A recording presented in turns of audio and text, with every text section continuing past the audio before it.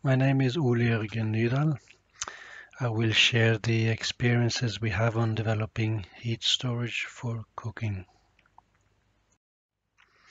First, a bit on the aims and the project background and the types of challenges we've been looking at, the heat storage solutions and heat transfer methods.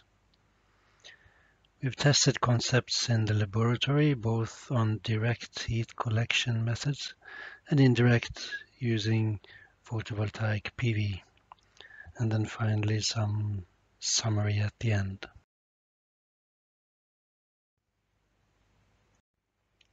The aim we have is very simple. We want to contribute to reducing the use of firewood for cooking. So we would like to develop and test concepts for cooking on heat storage, also to avoid intermittency of the sunshine. And then we want to implement the solutions. The project background is that we've had a very long collaboration with African universities funded by NORAD programs on higher education. And these projects have included uh, also work on um, heat storage for cooking current partner universities in the NORAD projects are universities in Tanzania, Uganda, Ethiopia, Mozambique, Malawi, and South Sudan.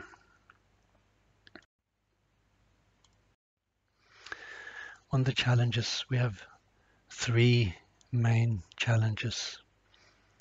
One is the heat storage.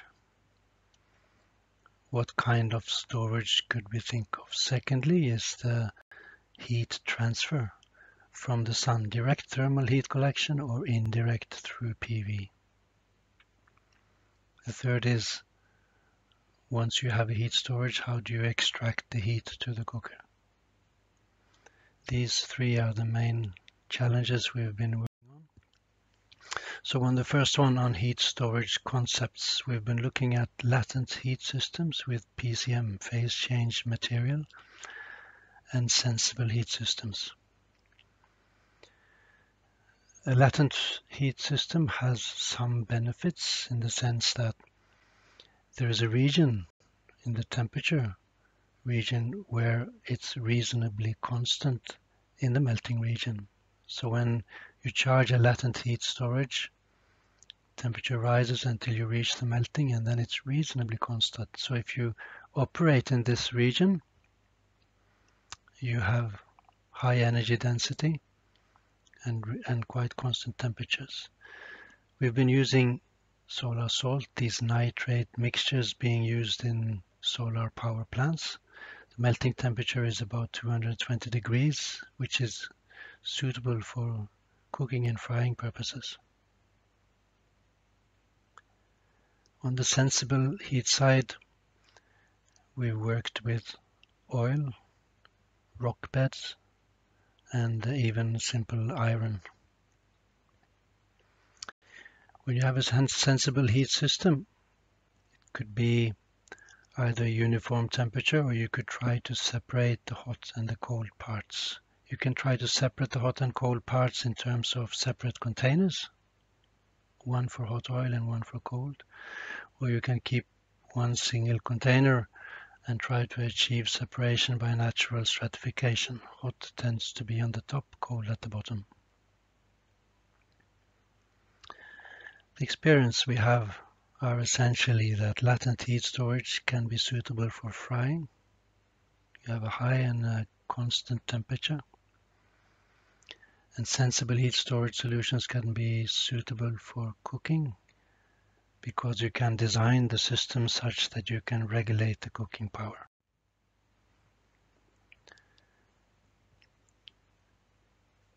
On the charging, uh, this is a schematic view of uh, what you typically would expect to have in a direct system where you collect heat directly from the sun and uh, transfer it to a heat storage. So you have a reflector if you want high temperatures, some concentration is, is needed.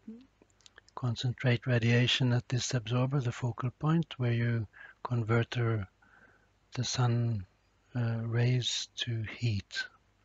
Then you need a heat transfer loop, either by natural circulation or by forced circulation.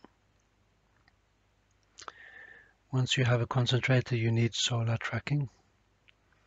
So this reflector needs to move with the sun in such a way that it always focus on this point, which is a stationary point in the case you have a stationary heat transfer loop.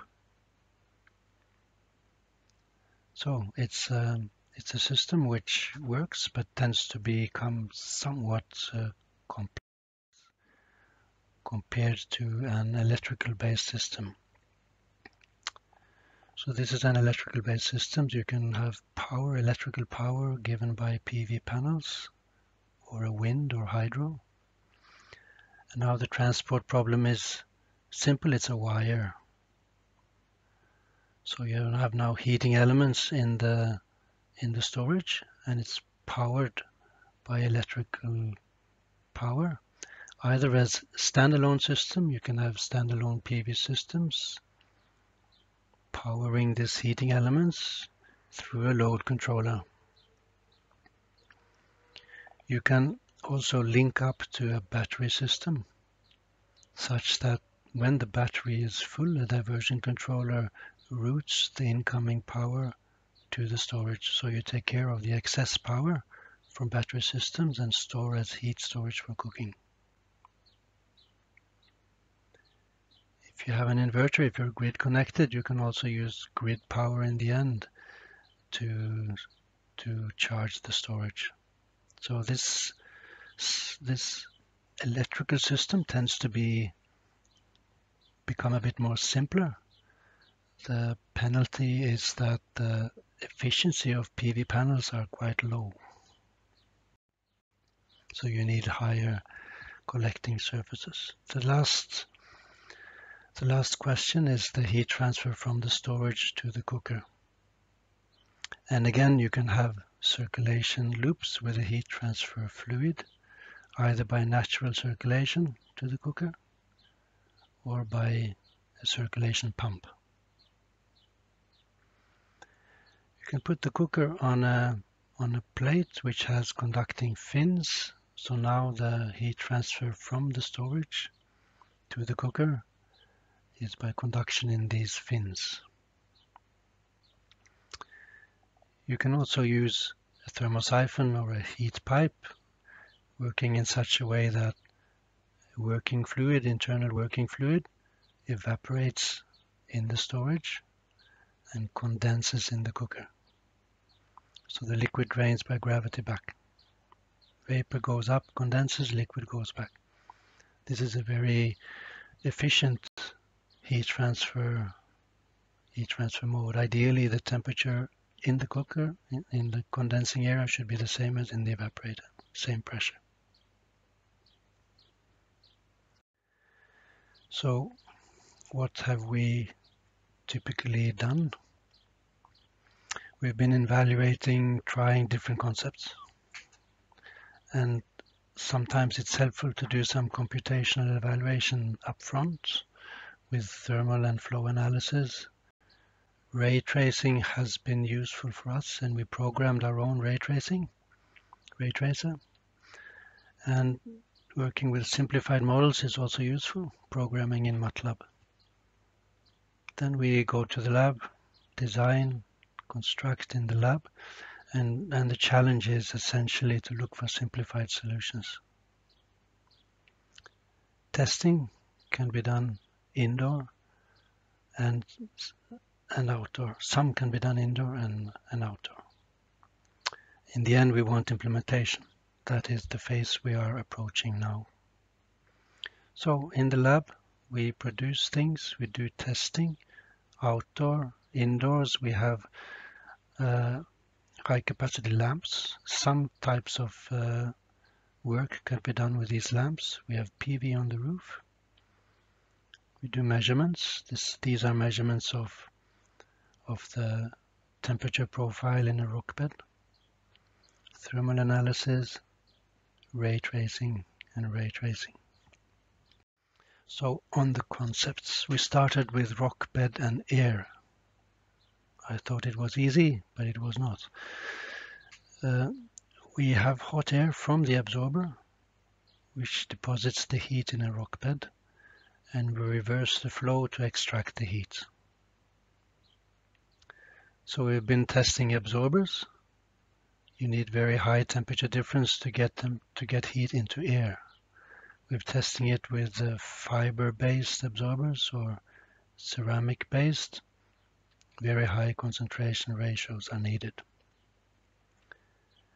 We looked at different sizes of the rocks and this picture also shows you the challenge you have in such a system with a stationary storage and a moving focal point with the sun. Try different geometries, even horizontal rock beds we tested. And we also questioned could we have PCM heat storage operated with hot air and uh, a rock bed could serve as a heat transfer media for that. Heat extraction is a particular problem with a rock bed. If you are a baking application, it's fine, you want hot air. But if you want to cook, uh, we ended up with uh, reversing the fan and letting the hot air pass through the cooker through small holes in this top plate that also gave the opportunity to regulate the cooking energy quite efficiently. Solar tracking is needed and we arrived at a very simple way of doing that as well by taking two PV panels opposite each other and a motor, tracking motor in between. So you have a shade which essentially determines which panel drives the motor. Quite simple, giving us a plus minus one degree accuracy in our system, which is good enough for us. And uh, another positive aspect of this was that uh, you could start tracking even at very low solar angles. You were not, you did not necessarily need to be in a small angle from uh, of a light diode. Here it's a big flat sensing the sun. Injera fryer, Injera is the Ethiopian bread, uh, frying on PCM with a dish concentrator.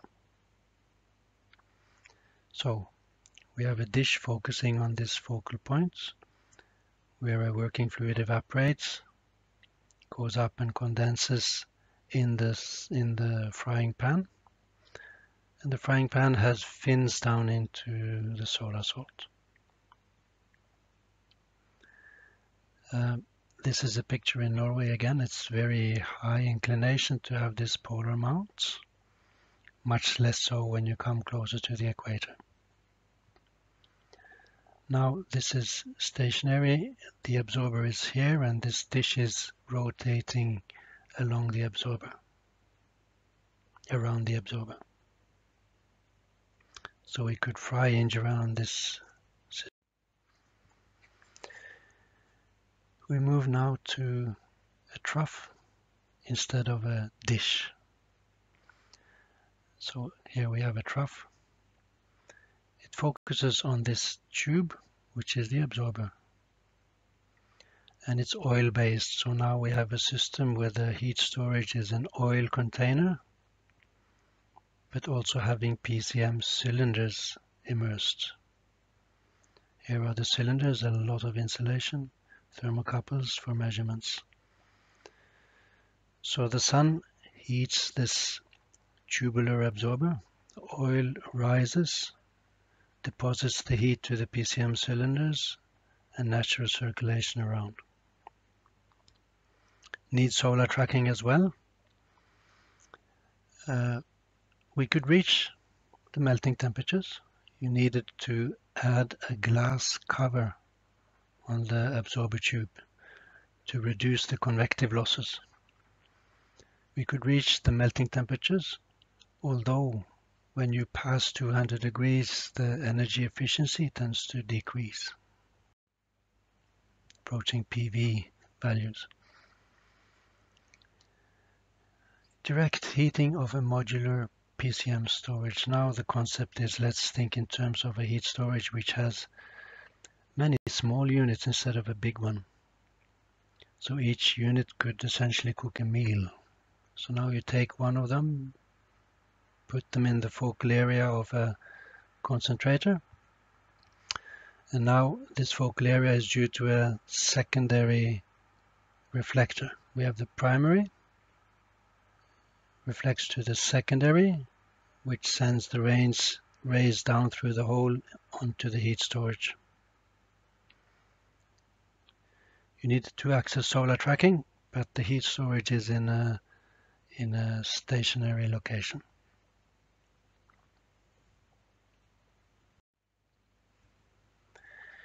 We did also consider if light guides could be feasible to direct the incoming concentrated solar rays onto an absorber and a heat storage.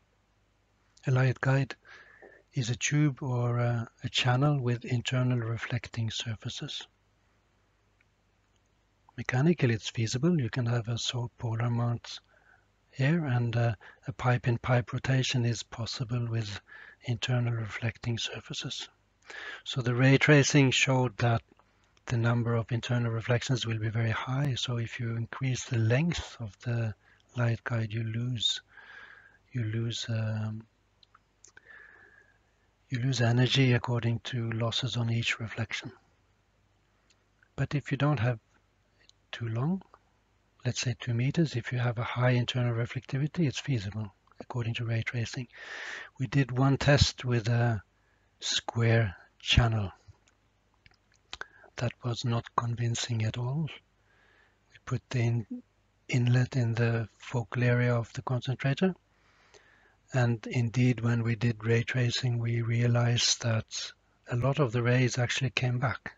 So you shoot rays into the reflector, it goes all this way, and and if you look more closely, a lot of them come back again, almost half of them.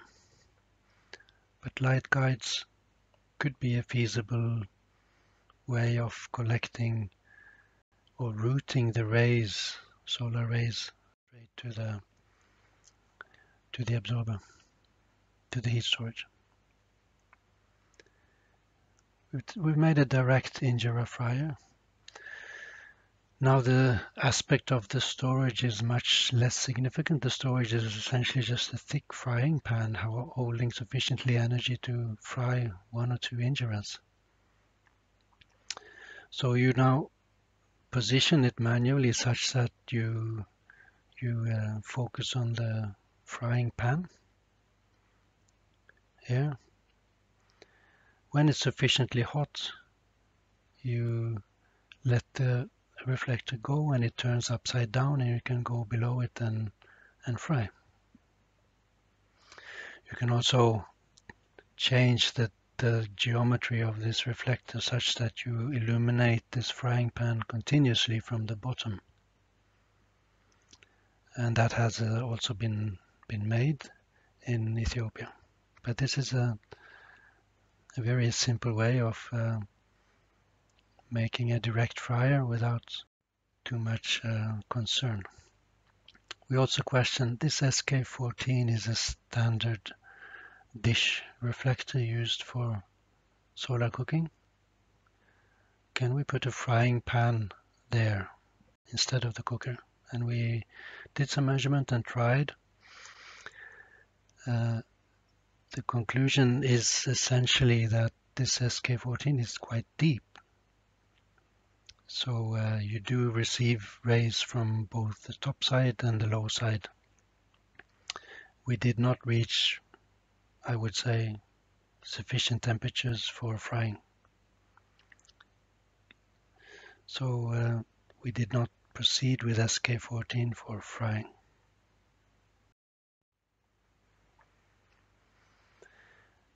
Uh, we did one test with a CPC as a funnel cooker. A CPC is a compound parabolic concentrator. It's a combination of two parabolas in such a way that it uh, accepts all solar rays within an acceptance angle without solar tracking.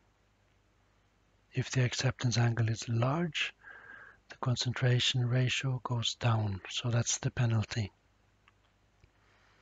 So the idea was to have a heat storage. We put now a CPC reflector on top of the heat storage. When it's hot, remove the reflector and you put this insulation on top such that now you have an insulated heat storage to cook on. Now again, we wanted to do this simplified. So we had a look at ray tracing and, and optimized a CPC simplified geometry using eight mirrors. So we put them together and made a test. Uh, we were not convinced of this test that you could get sufficient temperatures for efficient cooking when you had this heat storage uh, positioned uh, in the low. Now, in reality, it will be different geometry. This is a test setup we did to test the concept.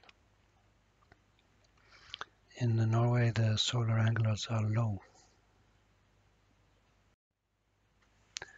Then we move to electrical heating, PV based. And a simple way of doing one solution is just to take a heating element, wrap it around an iron cylinder and insulate. So we did that. And you can cook beans on top afterwards. The amount of beans you can cook can you, you can calibrate to the initial temperature of the storage. So you just leave it there and it cooks uh, until it's finished. Again, we question can you use PCM now with uh, heating elements and PV as a, as a source. And this is the concept we tested. We have a container with oil and the PCM cylinders coming into the oil. Heating elements is now in the oil. The evaporator of a heat pipe is in the oil and the vapor goes up and you condenses inside the heating, inside the frying pan and liquid returns by gravity. So we tested this, a barrel in barrel with insulation between, tested a 40 centimeter and a 60 centimeter hollow frying pan and you could fry injera on this. Uh, one positive aspect of having uh, a valve is also that you can shut it off. You can cool down the frying pan and you can scale this energy storage system up to serve uh, several frying pans from one storage.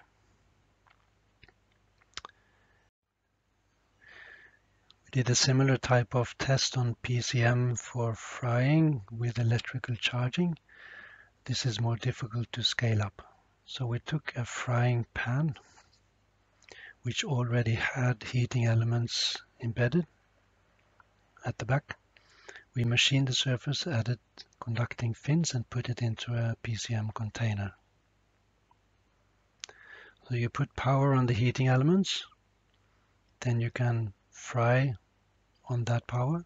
If you don't fry, the power goes to the storage and you can retrieve it with the fins. This will always be hot, which is a challenge. We solved the stickiness problem by using uh, a, a, a baking ba baking foil which has a Teflon coating. So we could fry injera on this one without having the stickiness problem.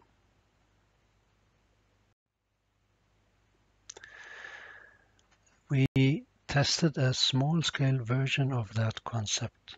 It's the same, you have a container, now it was a vacuum insulated container.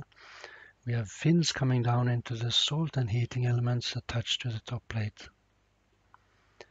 Now we did a test with a small PV panel comes into the charge controller. When the battery is full, the power goes to the storage.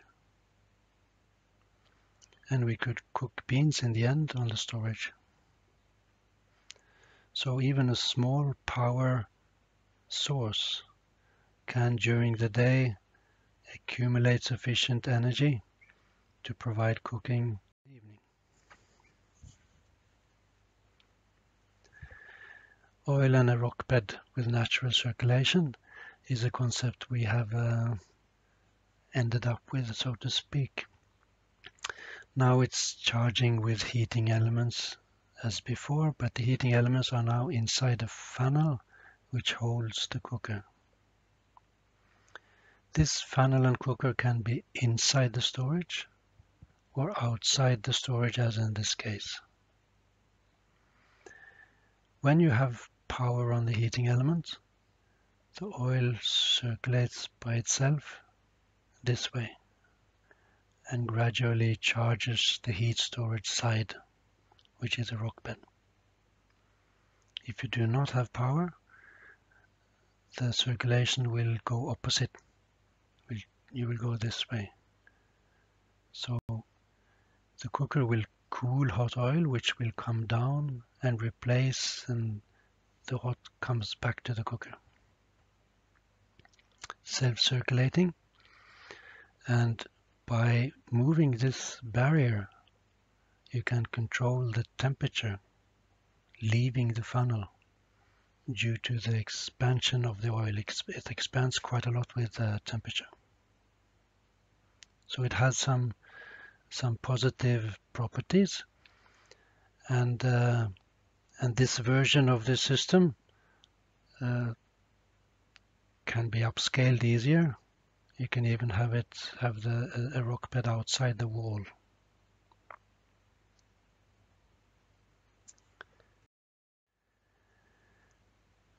We tried one concept where we tried to separate the hot and oil cold oil not by natural stratification as in the previous but now with a piston in a horizontal tubular heat storage.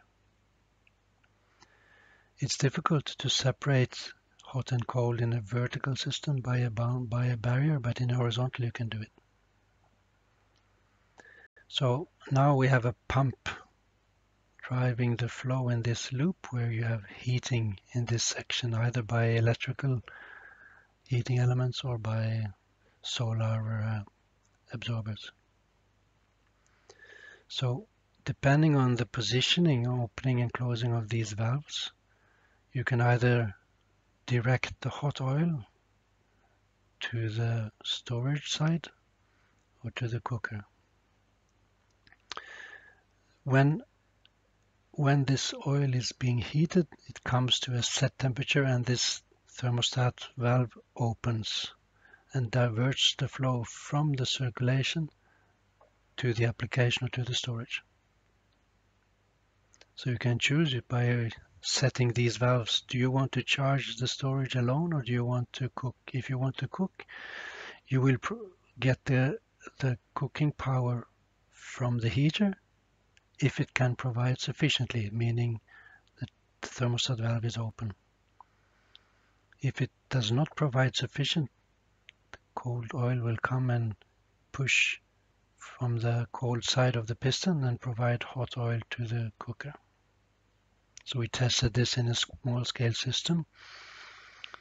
Uh, concept seems seems to work, but you need quite high precision on on this uh, on this piston.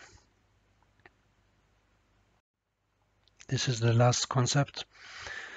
Now we are also separating hot and cold oil-based uh, heat storage. These are drums in drums with insulation in between. So now we have heating elements in this middle tank. So when the oil in this tank becomes hot, the thermostat valve opens and cold oil comes in from the top into the hot tank. So during the day, this hot tank will accumulate hot oil, say 200, 250 degrees. When you want to cook, you open the valve and by, by gravity drains through the cooker into this residual tank and when needed you hand pump up again. We've tested different different thermostat valve solutions. And again, we require that it should be simple and reasonably easy to produce. And we ended up with a good solution working with a, a pipe-in-pipe -pipe configuration and a bimetal spring rotating the inner pipe with the temperature. So in summary, we've tested latent heat and sensible heat storage solutions. Latent heat can be fine for frying. We need high power frying energy at a high temperature for a short time. Sensible heat system can be suitable for cooking where we need to regulate the power. Concentrators have higher energy efficiencies than PV but are more complex, so we are proceeding with PV. Electrical based systems are also open for uh, for interfacing with the wind and hydro and the grid. It can be standalone or interfaced and you can make sure that you take care of excess energy not only in electrical batteries but also now in thermal batteries for cooking. It has been quite a challenge to and it is a challenge to arrive at simple, robust solutions which are open for local production and maintenance in a, in a rural African setting. So the hope is that heat storage solutions for cooking can lead to more widespread adoption of solar-based cooking. Thank you.